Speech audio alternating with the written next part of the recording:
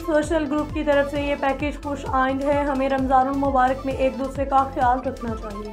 मुस्तक अफराद का ख़ास तौर पर ख्याल रखना हम सबका फ़र्ज़ है। हरून रशीद, चीफ एडमन और बानी उम्मीद सोशल ग्रुप अब्बासपुर। उम्मीद सोशल ग्रुप अब्बासपुर की तरफ़ से ज़रूरतमंद अफराद के लिए पैकेज की तकसीम, जिसमें इशिया खुर्दनोश थी, बानी और chief admin Ummeed social group Haroon Rashid और सदर हाफिज ख्वाजा रिजवान गनी ने मीडिया से गुफ्तु करते हुए कहा कि हमने तकरीबन चालीस अफराद में ये पैकेज तकसीम करना है। इस सिलसिले में उम्मीद सोशल ग्रुप अब्बासपुर के ऑफ़िस में एक तकरीब हुई। उम्मीद सोशल ग्रुप की टीम कवर कमेटी और रजाकारों ने भी अपना किरदार अदा करते हुए अच्छे अंदाज से मुस्तक अफराद में ये पैकेज तकसीम करवाए। इशिया खुर्दनोश में आटा, दाल, चीनी, चाय, चावल, घी और दीगर इशिया शामिल थी। आवाम इलाका ने उम्मीद सोशल ग्रुप का शुक्रिया अदा किया। इन्होंने रमज़ान के बाबरकत माह में गरीबों की मदद की।